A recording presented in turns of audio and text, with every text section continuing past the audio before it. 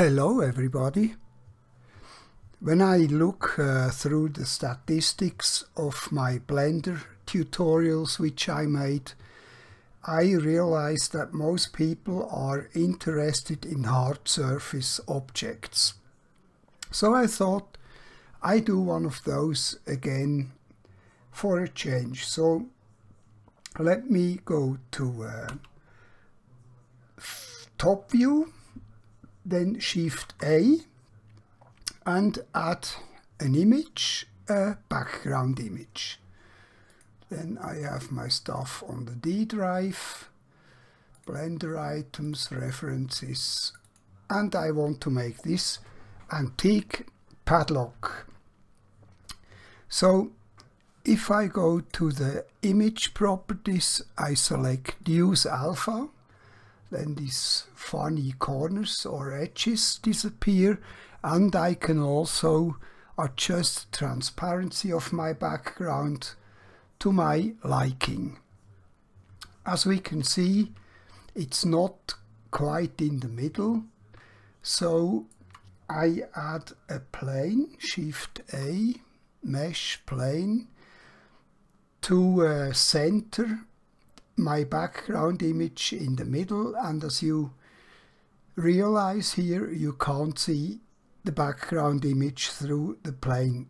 That's easy to fix and I think this is the wrong setting here. Should, this should be the default, namely that the background image is in front of our geometry. So I select uh, the plane again and mm, no first I grab my image on X and use the two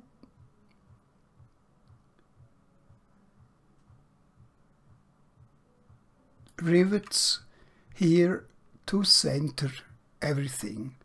Now I can select the plane again and delete it. Next I add a circle with 48 edges and tap to edit mode, grab it in Y and bring it down to about here. And then I scale it out to the outside of our padlock and then I select all these vertices on the right side and delete them. Now I can put the rest to where it must be so I select this vertex here grab put it to here, select this one, grab, select this one, grab, select this one, grab to here, then select all the rest here and delete. Now we can extrude. This one, extrude, extrude, extrude around the outside of the lock extrude doesn't have to be too precise. Extrude and one more to here. Now I tap to object mode and we can add a mirror modifier. Mirror apply it go back to edit mode. Then I select these two and fill. Then I select everything fill, inset a tiny bit and inset again close to the inner plate like so. Then I can select this edge here, one, shift select this one, shift control numeric plus to here. Then P key to make this its own selection. go to uh,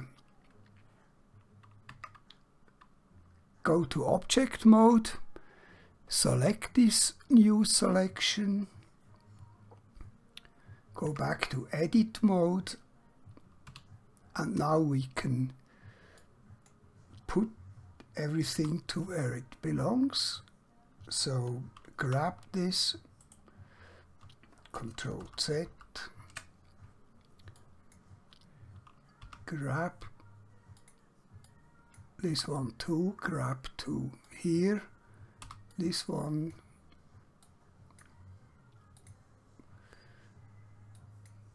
grab, grab and left click, grab uh, this one to here, grab, grab, grab,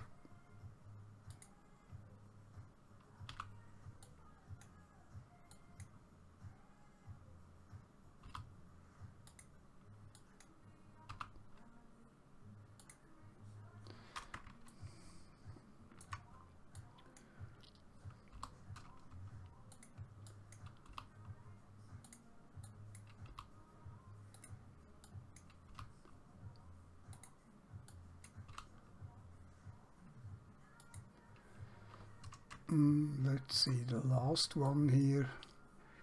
Grab, I don't want to bring it totally to the side to here. Now we can extrude this, extrude, extrude to here. Okay, now to object mode again, add another mirror modifier, apply it, go back to edit mode, let's see if these have merged. No at center. Then we can select these two and fill. Then select everything. No we have too many. We have too many uh, so let me correct this. X dissolve vertices this one dissolve should have done this before I mirrored but it's not such a deal.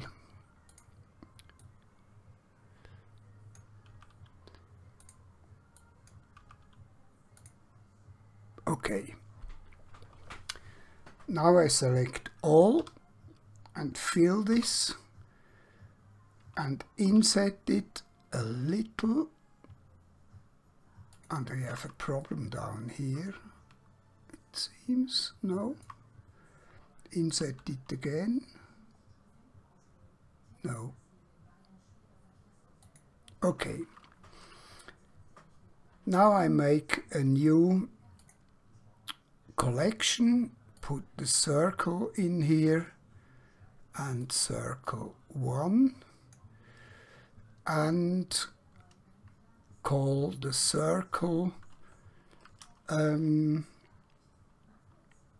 block and I will put everything into this. When I join objects I will all put them in the lock which means I always select the lock item last now we have one more object to do, which is the bottom one, which seems to be a cover for the keyhole, which I will not model.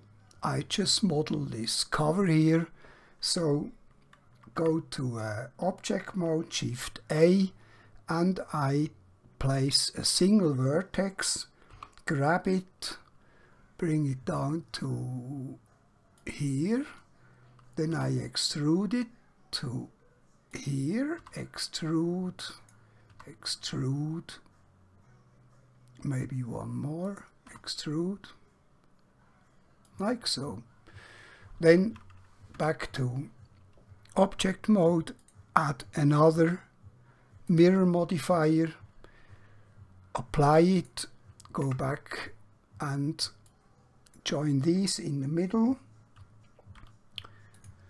and fill these two in and then I can select everything and fill it, inset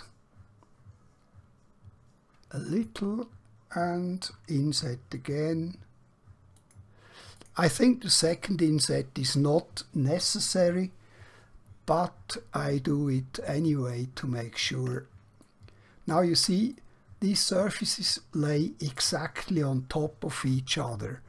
And so what I do now is I take the vertex and select select the vertex and select the circle 1 and control join them. Then I select everything grab in Z, just a tiny little maybe 0.002 and then I extrude everything in Z to maybe here. Okay. Now we need um, edges in here and here. So Alt Q as I said I changed from Control R to Alt Q because it's easier to reach. Alt Q and Shift Alt select these ones then Control B and extrude these two here. Good. Now I select uh, the lock.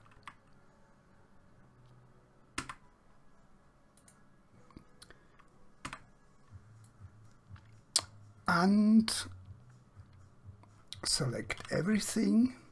Extruding Z quite a lot. Like so and select this bottom um, face and control plus and delete faces because you know I want to have two halves because these old locks had to be uh, riveted together and uh, they usually could be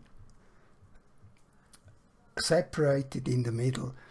We don't see it from the reference picture, but I think this is the case. Anyway, that's what I do.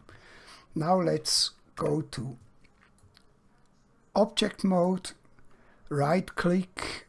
Now I put everything together, so Control J, right click and shade smooth and have a look, not good. I need also two edges in here, so Alt Q.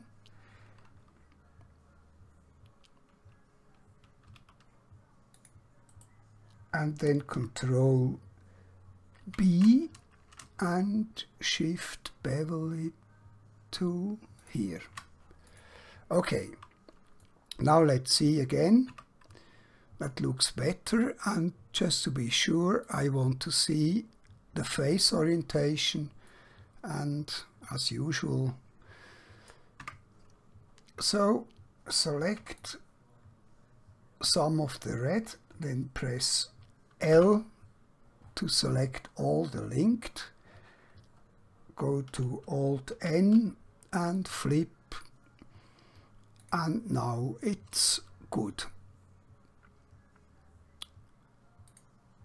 we don't need to see this. And now I put it just on top of uh, the red axis. So grab in Z. Just tilt this slightly above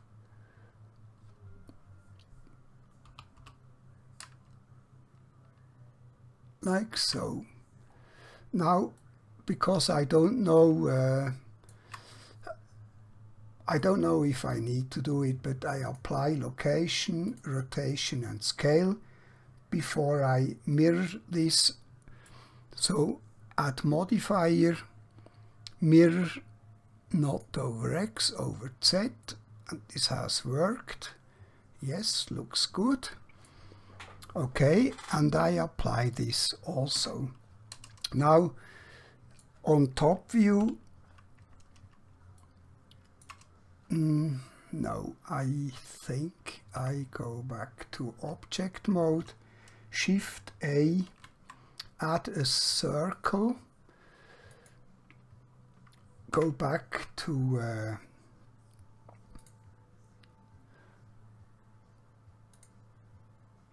go back to edit mode.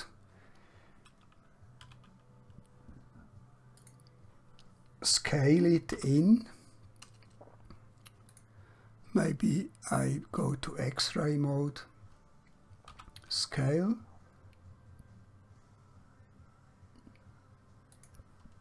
Then I can delete the bottom part here. Delete vertices select everything grab in Y bring this to about the middle and you see it's not really uh, precise. So I use it more or less for the proportions and the general shape. So extrude in Y again into the main body like this then I go to object mode and convert this to a curve. And in the curve menu I go to geometry depth and shift click on this and make it maybe this size. Then scale everything so the rivets are in the middle and then I can convert it back to a mesh. Let's have a look. Select everything and shade smooth. And now I can control join everything together and go back to edit mode and have a look. And now we only need the rivets. So I shift A add an icosphere tap to edit mode go to the side view and select all these vertices. We are still in x-ray mode. X, delete vertices, then I select all these ones, extrude in Z, bring them down, A to select everything, scale in Z only, like so, it looks a bit more like a rivet. Then I go to top view and uh, scale it in total to the size grab mm, it's a bit too small. Scale shift like so. Let's see from the side. It's way too low grab in Z up to about here. Top view again Shift D, put this on here, Shift D, put this one here, side view, grab in Z to about here, then top view again and go to um, object mode, add another mirror modifier and apply it then back to edit mode and I select this one shift D bring it to here shift D again along the Y down to here and let's have a look here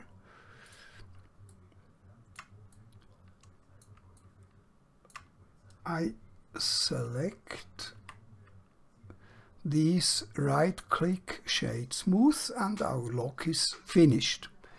Now we can select the rivets or and then the lock and control J and now we have one single object. I didn't put the, the rivets on the bottom because we don't see it. Now I add a plane. So Shift A, plane, and my cat is hungry again. Just a moment, I'll be back in a second. Okay, I'm back. My cat is happily eating and putting on her winter uh, weight and I have added a plane. I scale it up by a factor of 22. That's and left click then grab it in Z and bring it down to where it would be if we would have the rivets also on the bottom. Now I select this object here and show you another very very nice and useful add-on. It is delivered automatically with a Blender 2.8. It's called uh,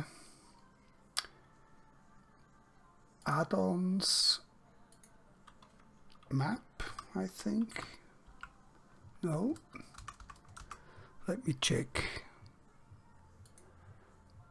Kit, yes, edit, preferences, kit, and you see it is an asset library kit, which in fact is something you have to pay for $5 a month if you want to also use the models and uh, the brushes.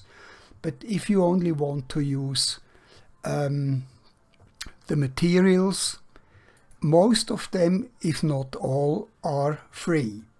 So let's select, the, we have 75 metal materials.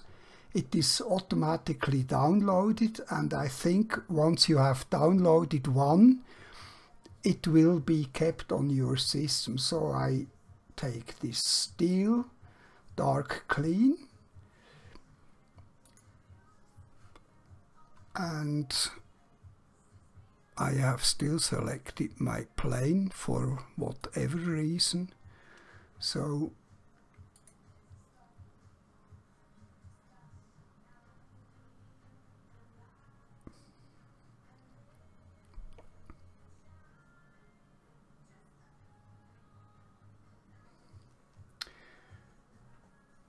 I'm very sorry, but I seem to have a problem with something. Uh, BlenderKit is uh, hanging and displays it's searching. So I loaded my previous version of this uh, ancient padlock and this one is uh,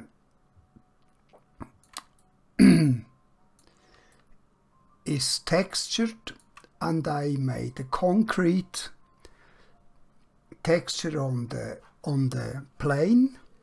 And this is the finalized product.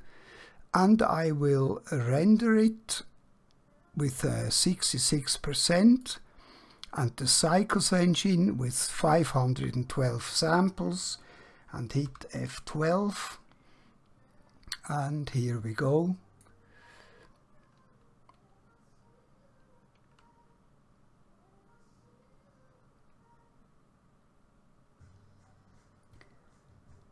And this is the final product.